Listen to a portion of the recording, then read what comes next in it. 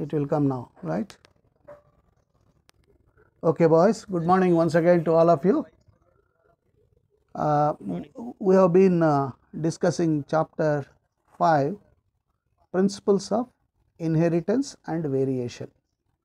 As part of it, we said that we are all thankful to one person that is Gregor John Mendel, father of genetics, and through his experiments of hybridization, he could discover many things which are applicable in day to day life even today. Even after so many years past, the findings are even today is applicable. Hence, uh, that is what we should appreciate in him. And based on his experiments, he has found out and proposed three laws. They are called Mendel's laws of inheritance. Mendel's laws of inheritance. So, three laws are there law of dominance, law of segregation, and law of independent assortment.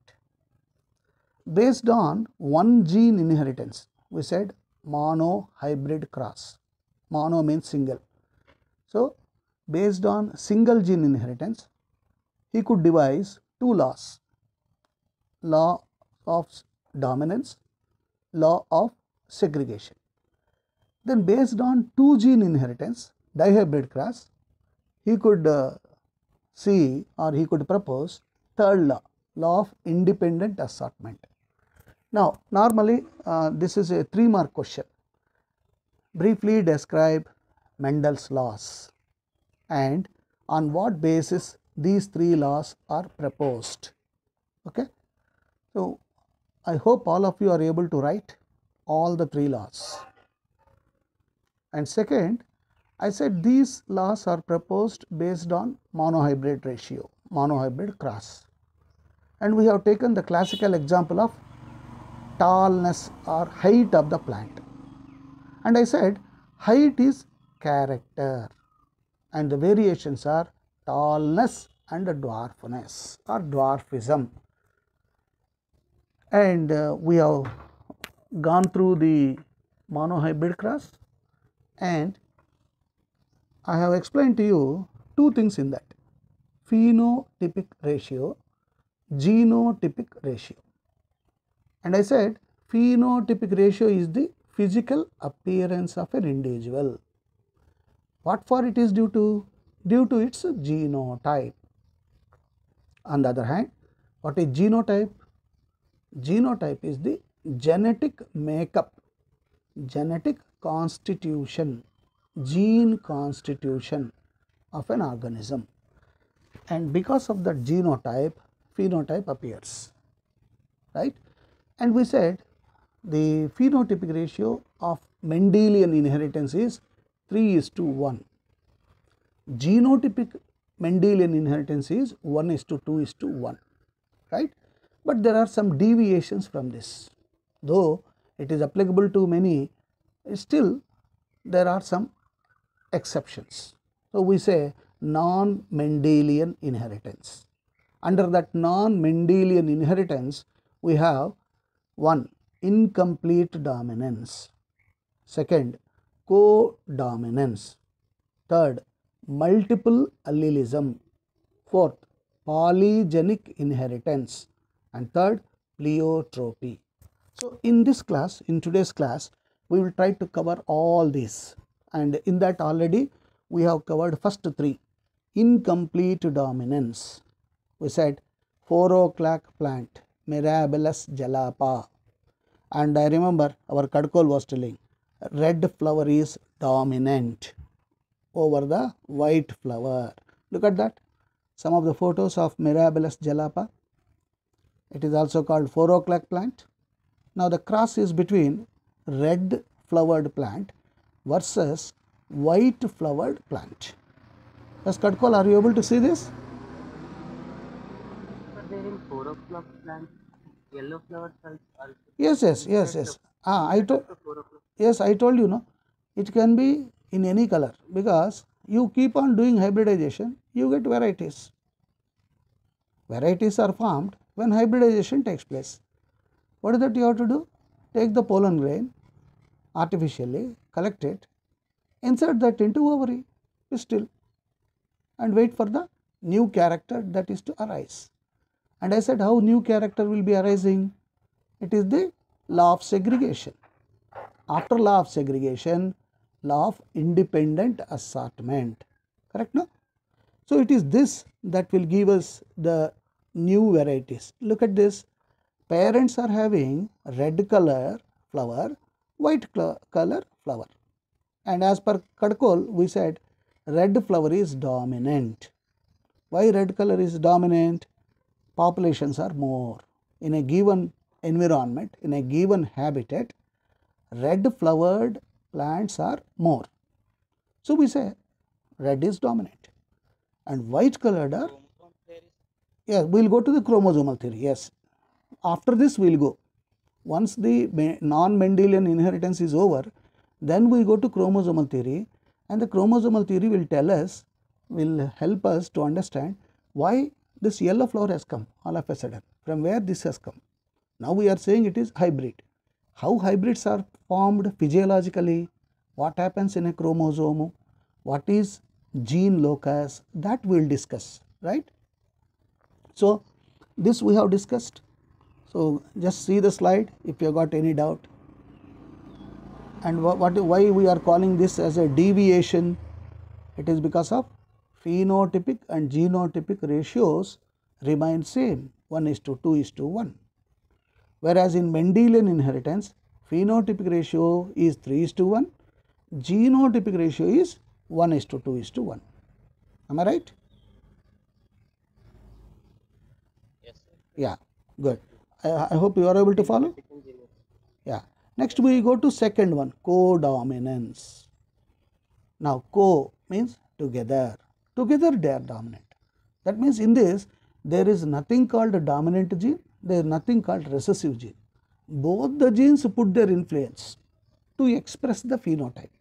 Already we discussed blood group is the example and uh, we said gene I is responsible for the blood groups and in that varieties are I said IA, IB and IO and in that IA, IB, IO different combinations of alleles will be formed.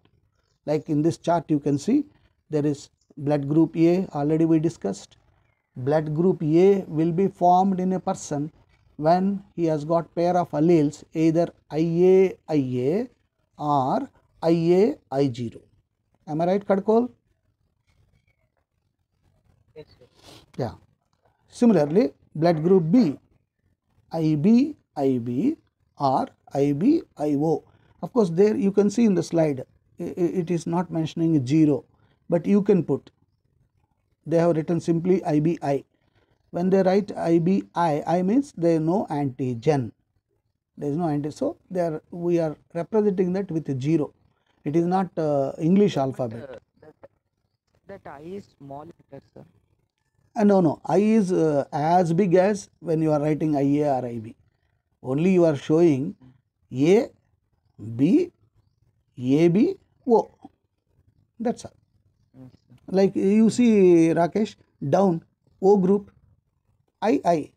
Both are same size. See, Yes. just to make you understand that it is recessive, he has put small i. But in your case, you can put capital I, but don't forget to write 0. So that people, people understand that there is no antigen. And already, I think uh, I have told you to work out this allele from parent 1, IA, allele from parent 2, mother, father. I use the word. Okay, IA, IA.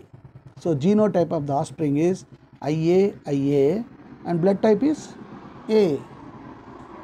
Second, allele from the father IA, allele from the mother I0. It can be reverse also, okay? I am just taking it as an example of father and mother. It can be IA from father, IA from mother also. Uh, various combinations are there. But once you understand the basic concept, how the alleles are segregating and independently combining. Law of segregation, law of separation, and law of independent assortment, Mendel's laws. Though it is non Mendelian inheritance, still what's happening? It is following Mendel's laws. That is the greatness of Mendel. Okay. So you can see the I said RBC on the surface means on the skin on the plasma membrane of RBC there is presence of antigens. You can see antigen A, antigen B, right? And uh, see that uh, O, blood group O, RBC. I said yesterday it is like Tirupati style. Okay, that's it.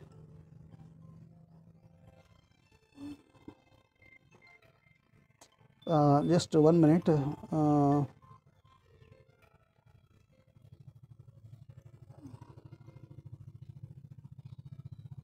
okay, uh, I think uh, there's some problem. Uh, Ramesh sir was calling me. Yeah, yeah. Ramesh sir was calling me. I have cut that. Okay, right. So we continue with that, and down. I hope all of all of you are able to see the screen. Okay, good. Uh, now, in the second one, second chart, this one, he has taken one example. So, in the examination, exactly like this question will be asked. Okay. Now, I am just trying. Yes, look at this. Father, IA, I0 versus mother, IB, I0. That means what he will ask? He will ask the question in the form of a paragraph. In a family, father belongs to blood group A, mother belongs to blood group B. What are the various blood groups that are likely to be formed in the family? Now, there, when the question is like this, you have two things. What is that? How do you take the genotype of the father and how do you take the genotype of the mother? Okay. So, whether it is a recessive gene or a dominant gene, that you have to decide. For that, he will give clue. What is the clue? Numbers in the family before fa- forefathers. That you have to pick up.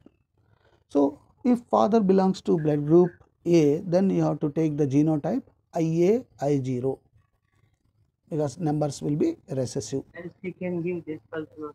Yeah, just uh, uh, the- is homozygous yes, yeah, exactly. He can give, he will help you by giving that. If he says homozygous, then you have to take Kadakol IA, IA. Am I right? Yes.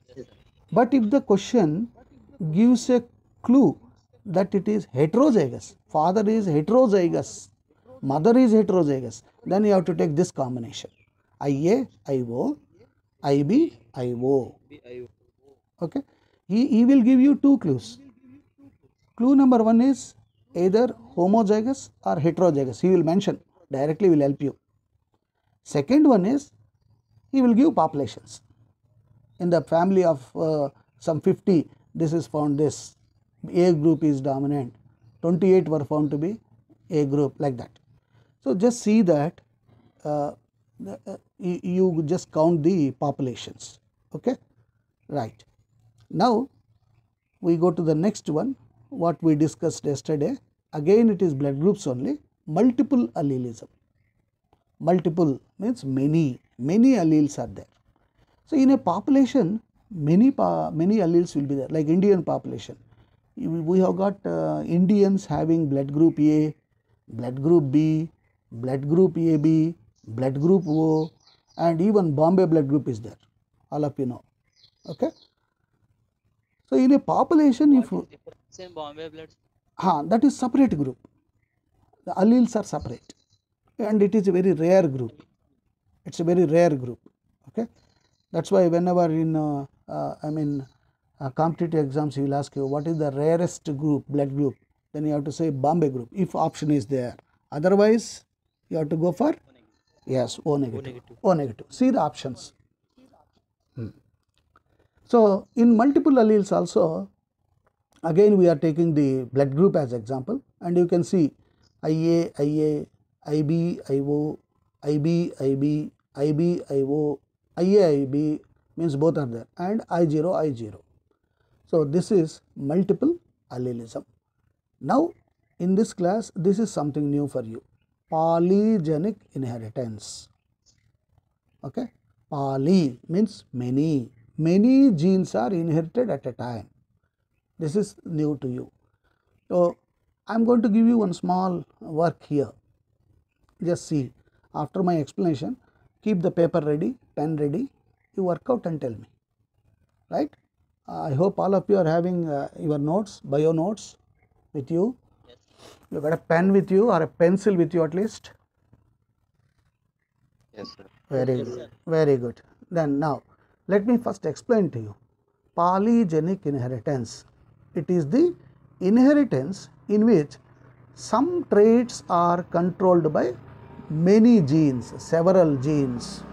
That's why we are using the word multiple, poly, multiple alleles. Example, human's color, human height, etc. Now, it considers the influence of environment also. Environment also plays the role in polygenic inheritance. So, in a polygenic trait, phenotype reflects the contribution of each allele that is effect of each allele is additive. Now, now basically we take in polygenic inheritance skin color that is the, the best way to explain this. There are three genes that are responsible for our color, skin color. We are seeing in India, normally we are called by Europeans brown people. We are neither black nor fair. We are referred as brown people. Now, how, how is that we are, have become brown colored and how is that Europeans are uh, fair colored and how is that Africans are black colored? Now, for this, as we said, poly, many genes are responsible. What is that many genes? What are those? Basically, three genes are responsible. Three genes are responsible for skin color capital A, capital B, capital C. And if there is a homozygous condition of alleles, that means capital A, capital A, capital A, capital A, okay, capital A, capital A, capital B, capital B, capital C, capital C, okay. Then we say it is all genes are dominant, homozygous dominant, okay, homozygous dominant. Then the person will be black in color. I hope you are understanding me. Yes, sir. Yeah. On the other hand, if there are recessive genes, are yaar, why he is calling me again and again? On the other hand, if there is uh, uh, recessive, that is, all the genes are recessive, small a, small b, small c, and the recessive genes are in pairs, alleles, small a, small a, small b, small b, small small c. That means AA, BB, CC. Then it is fair. So the color of the skin.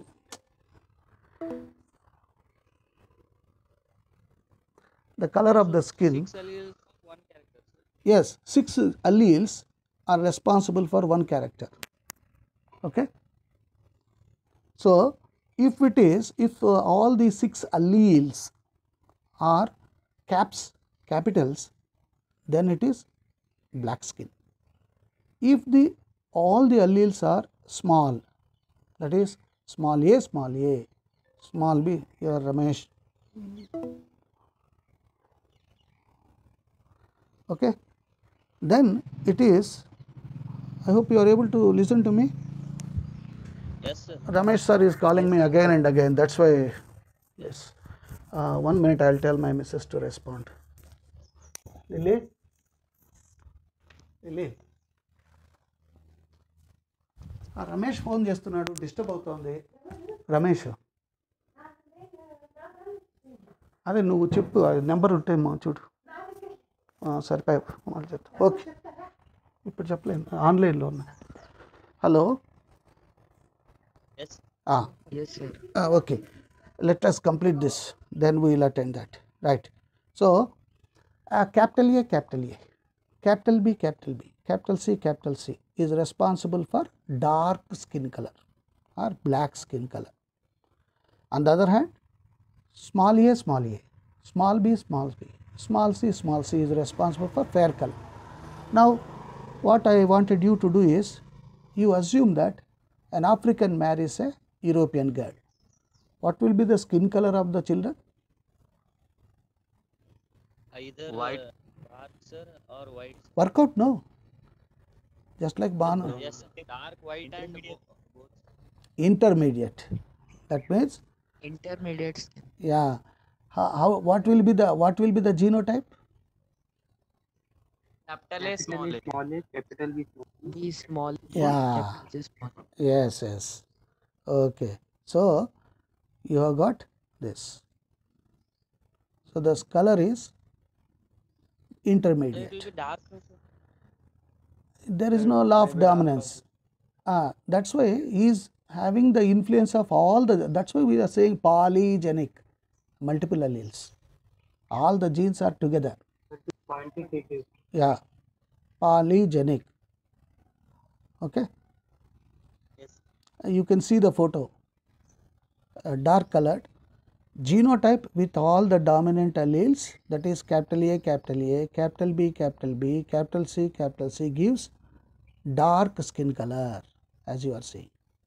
See that?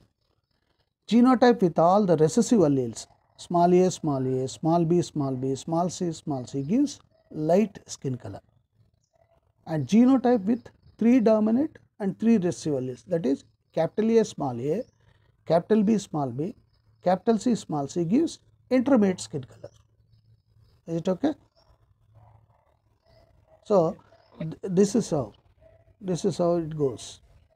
Now this is called polygenic inheritance. So you have to work out on, on a paper varieties of these combinations so the, traditional one you take parental uh, genotype as capital A, capital B, capital C versus small a, small b, small c. Work out that and then you work out the F1 hybrid you will get capital A, small a, capital B, small b, capital C, small c. You work out on that versus either pure dominant you take or pure recessive you take. So, various combinations you take, then you will come to know what will be the skin color of the populations. Okay? Are you able to listen to me? Yes, sir. Ah, so, uh, after the class, afternoon, you work out varieties of combinations. But I am, uh, I have to remind you that yesterday only two boys uh, gave me thumbs up. One is Sandeep, another one I think Vivek. Mono hybrid class, all seven characters they have done. What about other boys? Yeah, About shape, pod color. I said all the seven characters that Mendel has taken, contrasting characters. Yeah, I have also done sir and put in the groups. but you have not put thumbs up. I said no, no, no need to write. Just give me a thumbs up. Yes, sir, in group just uh, before some half an hour. I said yesterday. Okay, there's a lot of difference, Prasad. Yesterday and today. Yeah, anyway, work out on that. And today you do this uh, skin color, and come back to me again. Give me one thumbs up. Right? I am not asking Prasad orange juice. Only thumbs up. Yes. Okay, right. Eight possible will come. Yeah, correct. Right?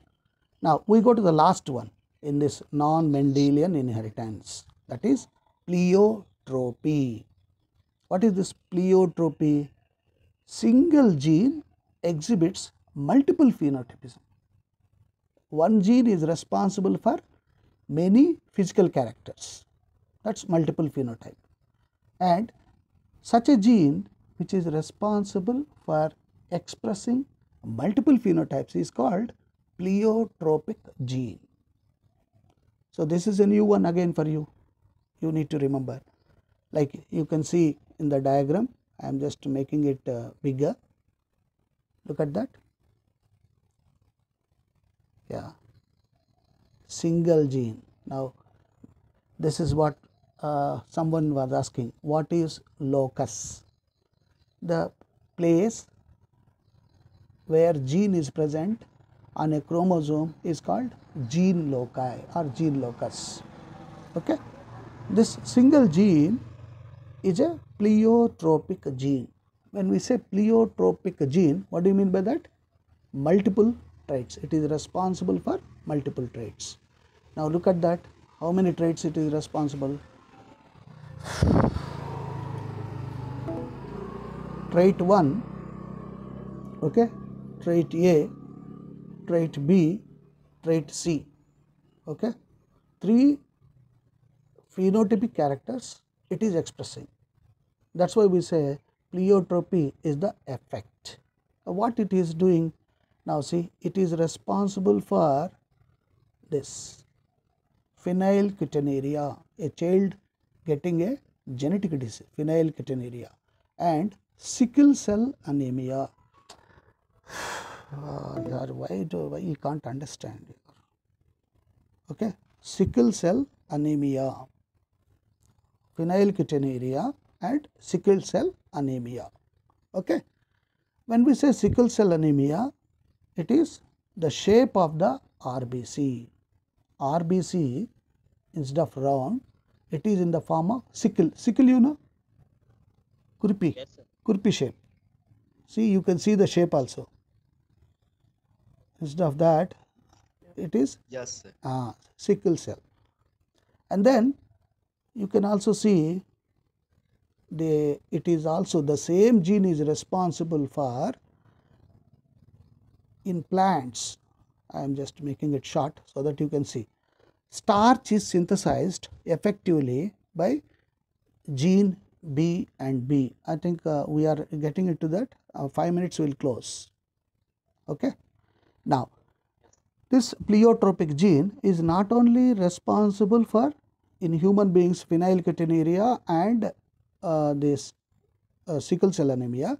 It is also responsible in plants for starch grains that are produced. Like you know, in any uh, seed there will be starch, and that starch is formed in the seeds because of presence of this pleiotropic gene.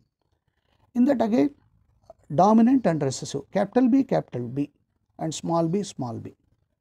That means compared to capital B capital B pair alleles, small b small b has lesser efficiency in starch synthesis and produce smaller starch grains. So, if there is presence of capital B capital B homozygous dominant, seeds will be big and if seeds are big naturally starch content is big. On the other hand, if there is small b small b recessive pairs, then the seed size is less, naturally starch content also less. Correct? So, he has given again the combination effective starch you can see capital B capital B large seeds less starch small b small b. So, one gene is responsible for multiple phenotypism. That is pleiotropic gene. Okay? I think uh, we'll end up the session now and uh, tomorrow we'll continue. If capital B and small yeah then it is together. Then it is together. Okay if uh, capital b small b is there you can see there at the end of that slide intermediate sized seed are you able to see that yes, Ah, so that is the thing. So maybe uh, tomorrow I will talk about the chromosomal theory of inheritance. Tomorrow whole class we will focus on that. I will share this PDF to you, right? Right. Take care then. Bye. Sir, Thank in you, sir. textbook it is given that Bye, sir. Thank you, sir. given state of Thank you, sir. Okay, okay, no problem. For our better understanding, we can take any example, whichever you are comfortable. Okay, right. I am ending the session then. Thank you, sir. Okay.